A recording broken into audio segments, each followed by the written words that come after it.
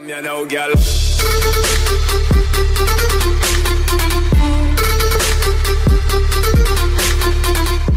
Hoài Lâm khoe ảnh cuốn quýt cực tình cảm bên người yêu 5 năm. Cách đây ít giờ, Hoài Lâm chia sẻ hình ảnh tình cảm bên bạn gái Lương Hoàng Bảo Ngọc. Trong hình, nam ca sĩ choàng tay ôm chặt bạn gái từ phía sau. Thời gian qua, Hoài Lâm khá thoải mái trong việc công khai bạn gái và được fan của anh ủng hộ nhiệt tình.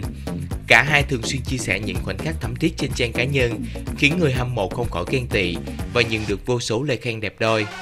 Mới đây, Hoài Lâm còn thể hiện tình cảm với bạn gái bằng cách đặt bức hình thân mật của họ làm ảnh bìa Facebook. Trong hình, Hoài Lâm chẳng ngần ngại choàng tay ôm chặt eo Hoàng Ngọc. Bức hình nhanh chóng nhận được sự chú ý của cộng đồng mạng. Hoài Lâm và Lưu Hoàng Bảo Ngọc thừa nhận chuyện yêu đương từ tháng 11 năm ngoái. Theo đó, hai người yêu nhau bí mật trong 5 năm. Giọng ca 21 tuổi cảm thấy 5 năm là đủ để chứng tỏ tình cảm không hề trẻ con giữa hai người. Rất nhiều người chúc mừng anh tìm được nửa kia. Nhưng bên cạnh đó là ý kiến cho rằng Hoài Lâm và bạn gái đều còn quá trẻ để tính đến chuyện kết hôn. Lúc này, Hoài Lâm nên tập trung vào phát triển sự nghiệp. Trấn Thành buồn bã xuất hiện sau ồn ào với Đài Vĩnh Long. Trấn Thành xuất hiện sau tranh cãi bị đài truyền hình Vĩnh Long cấm sóng với tâm trạng buồn bã ủ dột. Nhưng sau khi trò chuyện với các đồng nghiệp, tinh thần của anh dần thoải mái.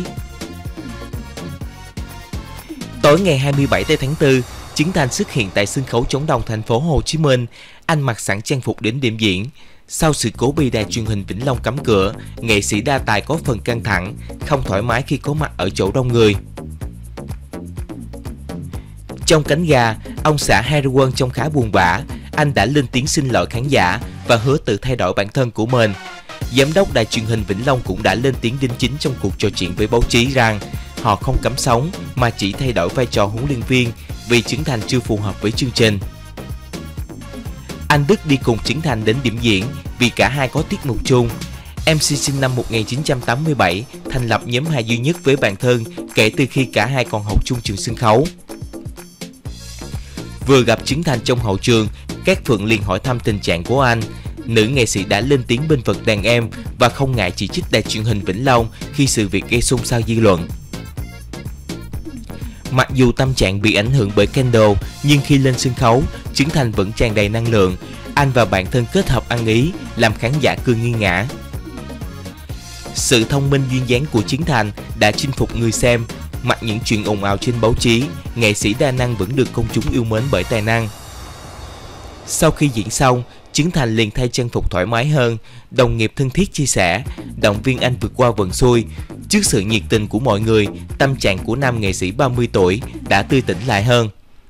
Trường Giang Cát Phượng cười nói vui vẻ giúp Trấn Thành lấy lại năng lượng như trước. Trước đó, danh hài Hoài Linh bạn trai Nhã Phương cũng động viên anh, các nghệ sĩ khác lên tiếng bên vực MC người bí ẩn. Trấn Thành cũng bắt đầu phấn chấn trở lại, anh pha trò chiêu đùa cùng mọi người. Sau khi ra ngoài, Trấn Thành được người hâm mộ vây quanh xin chữ ký và chụp ảnh cùng. Anh nán lại vài phút nhiệt tình giao lưu với các fan nhí. Sau đó, nam diễn viên hài được bảo vệ hậu tống ra xe, anh Đức lấy xe của bản thân ra về. Còn Trấn Thành lên xe của các Phượng và Kiều Minh Tuấn.